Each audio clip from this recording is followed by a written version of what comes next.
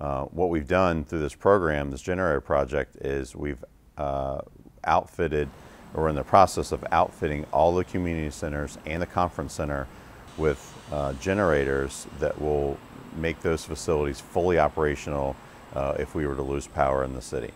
Uh, the importance of this is that if we had a no notice kind of emergency, such as like a tornado, you had a hazmat incident, or something that's planned, such as a hurricane that, or tropical storm that came through, now we have extra facilities that we could open as any type of immediate or emergency shelter.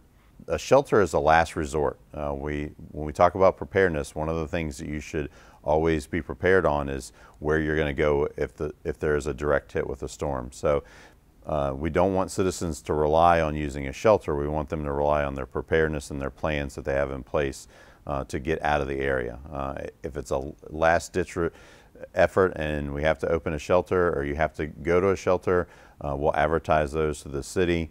Uh, through the city's website, um, through news media outlets, and then we'll put out you know, what facilities are open. But we always encourage individuals to really have a strong plan in place to move out of the area if possible. Now, a quick safety reminder for anyone who has a generator for their own home. There are serious safety considerations. Keep generators outside and away from windows and doors to prevent carbon monoxide from entering your home. Never leave a generator in a garage, even if the door is open.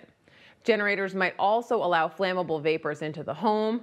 Gasoline vapors can travel, and if they reach an ignition source, they will ignite. So if you have a generator, please educate yourself on best practices and use it carefully.